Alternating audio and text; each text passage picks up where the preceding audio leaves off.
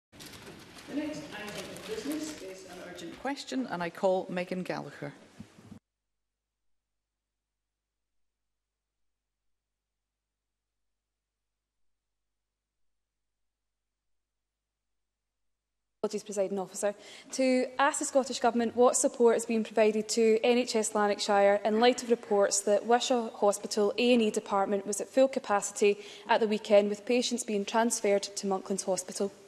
Cabinet Secretary Hamza Youssef. Firstly, it has always been part of Board's operational practice to work as a clinical network to manage demand by diverting patients between their hospitals where it's clinically safe to do so, uh, minimising delays for patients. As you know, and every member knows, the health and care system is under extreme pressure due to the pandemic, and NHS Lanarkshire, like all health boards, uh, is experiencing significant issues, including workforce challenges and high levels of delayed discharge. We recognise that some people aren't getting the service of care they, or we indeed, would expect, and of course I regret and apologise to anybody who suffered as a result of that. As members will know, we've invested an additional £300 million winter package of measures to support health and care services.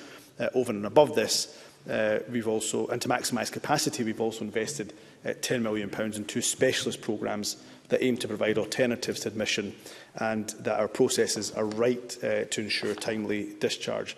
Uh, on top of this, uh, the member will probably be aware that NHS Lanarkshire have been assigned 64 military medics to support the three acute uh, setting sites. Uh, this task has recently been extended from the 11th of November until the 17th of December, which is welcomed by me and indeed the board. Uh, me and my senior officials have been meeting regularly with the executive team at NHS Lanarkshire to agree immediate actions that will support improvements and minimise delay for patients. And I spoke to the chief executive of NHS Lanarkshire yesterday. Megan Gelker. Thank you, Presiding Officer.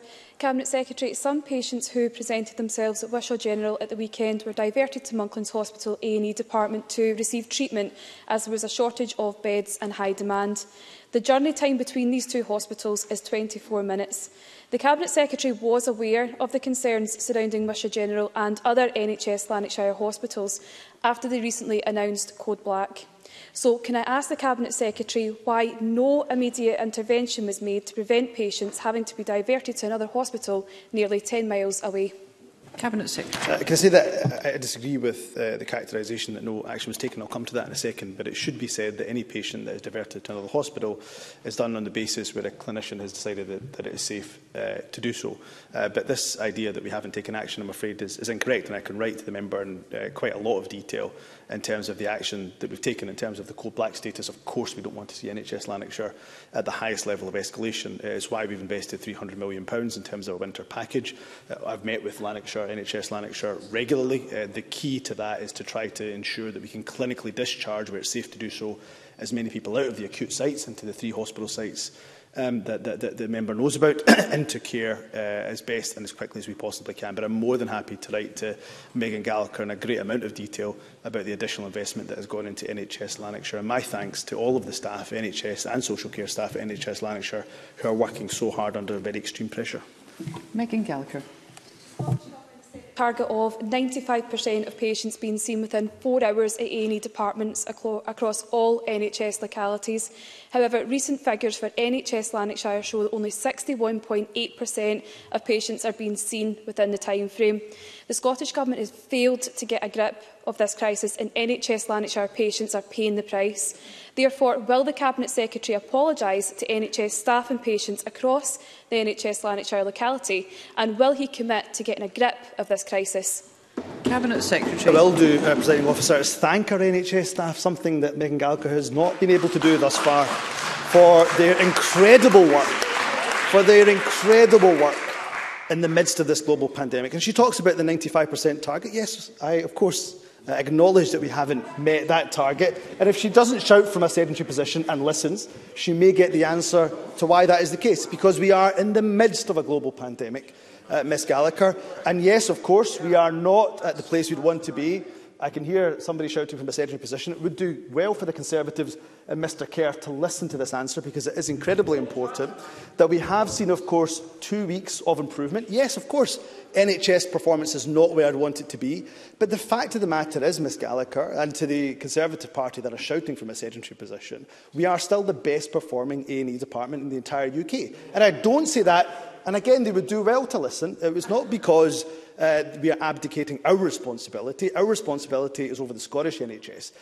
But that surely demonstrates to members that this is a problem that health services right across the UK are facing. So my job is to ensure that the NHS boards, including NHS Lanarkshire, and our staff get the funding necessary to make the improvements, and we have seen improvements over the last two weeks, which haven't been acknowledged by Ms Gallagher, and of course to ensure that staff wellbeing is taken care of. And that's why I want to once again reiterate my thanks to our NHS and social care staff who are working incredibly hard in the midst of this pandemic. Thank you. I call Claire Adamson.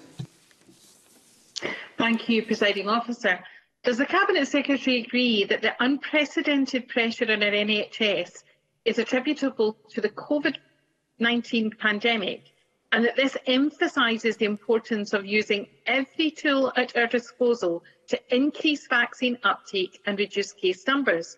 And does he also agree that the Conservatives' opposition to ongoing public health measures, including Ms Gallagher's own previous calls to align with England, sit at odds with their concern for the health service?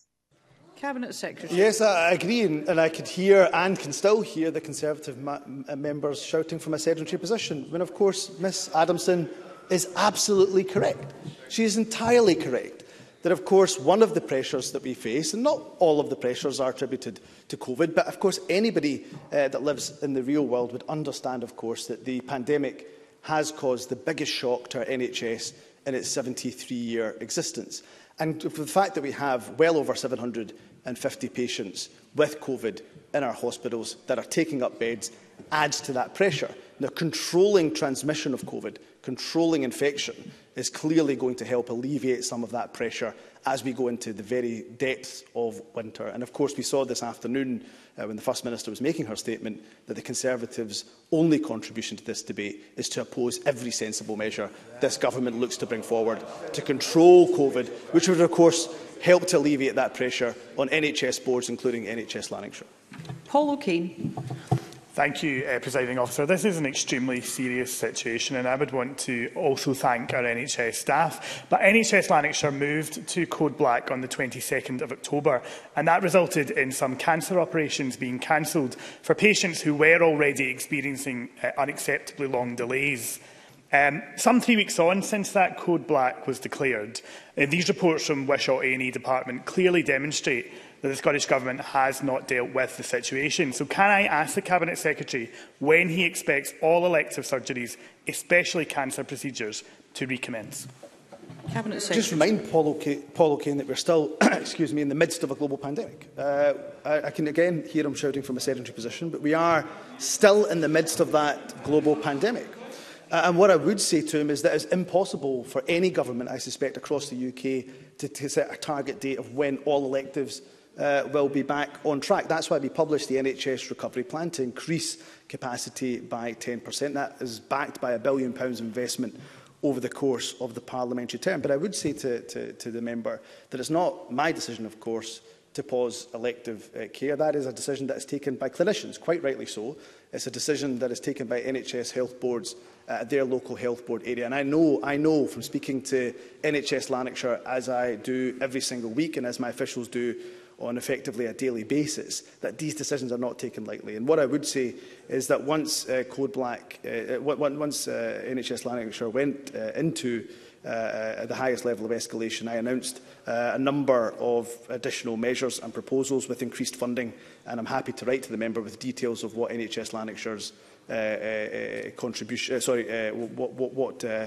uh, what funding went directly to NHS Lanarkshire in that regard. Julian Mackay. Thank you, Presiding Officer. I've been contacted by a constituent whose twin babies were born prematurely on the 21st of October at University, University Hospital, Wishaw, and I'd like to send our congratulations. They were then transferred to the Victoria Hospital in Kirkcaldy as the special care baby unit at Wishaw was closed due to staff shortages and a lack of available cots. It's now been three weeks and my constituent and his partner are both living out of suitcases, sleeping in the neonatal unit on a fold-down bed. Will the Cabinet Secretary look into this matter and ascertain, and ascertain whether alternative arrangements can be made to get them closer to home, if not back in Wishaw? Cabinet Secretary. Yes, of course I will, if uh, Gillian Mackay can uh, furnish me with the details. And again, uh, the, the, the, the constituent story that uh, uh, Ms Mackay rightly articulates here in this chamber uh, is just, again, symptomatic of the pressures that we're facing at the moment. And NHS Lanarkshire is facing those pressures uh, even more acute than other health boards right across the country. So we'll continue to not just invest, but I'll leave no stone unturned. That's why, of course, we were happy to facilitate Uh, that uh, MACA request, the request to the military, for further uh, assistance for NHS Lanarkshire. But if uh, Ms Mackay does furnish me with the details, uh, I'll certainly raise that with the board and see what more can be done for the family involved. Stephen Kerr. Presiding officer, I really do think that the Cabinet Secretary been incredibly patronising towards my colleague Megan Gallagher. She's asked very reasonable questions and what she's gotten back is snippets from a ministerial briefing and sound bites about investment. She's actually asking the Cabinet Secretary about what he and his government have done to preempt the crisis that was declared in, in, in Lanarkshire, in NHS Lanarkshire. And what he's given us back is politics.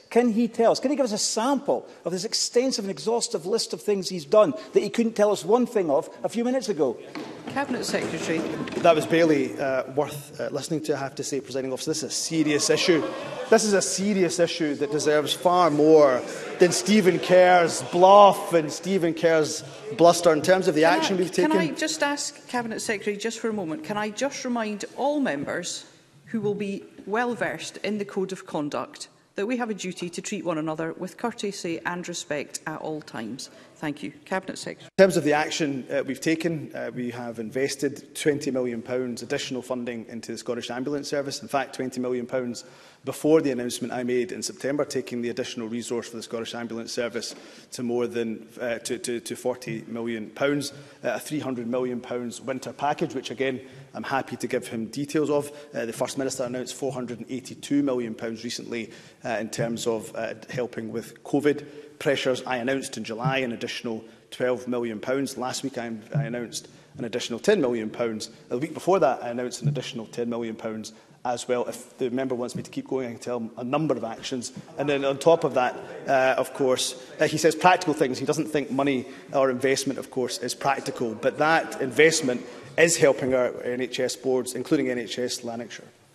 Monica Lennon. Thank you, Presiding Officer. Constituents in Lanarkshire have told me that they're willing to travel to other health boards.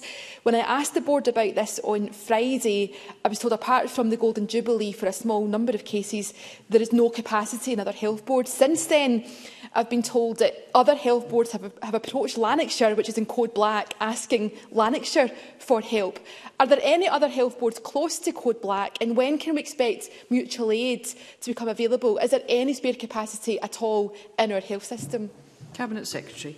And so there's no other health board at the moment uh, that is going to raise its escalation level to the highest level of escalation black, which NHS Lanarkshire is on. But of course, that is a situation that is reviewed daily, weekly, uh, and in fact actually is reviewed hourly, uh, I suspect, by health boards, given the extreme pressures uh, that they earned. Or in terms of uh, mutual aid, it's not uncommon for health boards to reach out to other health boards for mutual aid. I know a number of health boards have done that depending on the different services. I was talking to NHS Tayside yesterday, uh, who I understand are, are speaking to other health boards about potential mutual aid for, for some of their breast cancer uh, services, for example. Um, in terms of elective surgery, of course, if there is at all any theatre capacity and there are teams that can be brought together from different health boards, then we're looking extensively to see uh, how we can maximise that opportunity. But the NHS Golden Jubilee is is helping health boards right across the country, including NHS Lanarkshire, uh, with some elective surgeries.